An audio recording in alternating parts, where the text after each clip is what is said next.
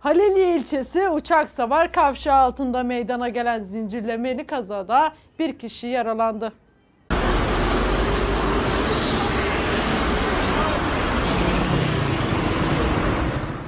Edinilen bilgilere göre kaza Şanlıurfa'nın Haliliye ilçesi Uçak Savar kavşağı altında meydana geldi.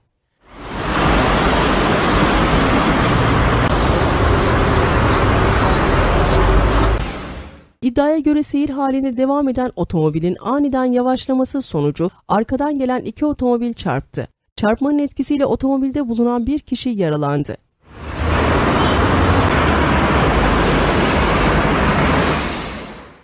Yaralı çevredeki vatandaşlar tarafından çağrılan 112 acil sağlık ekiplerince olay yerinde yapılan ilk müdahalenin ardından ambulansla hastaneye kaldırıldı. Kazayla ilgili inceleme başlatıldı.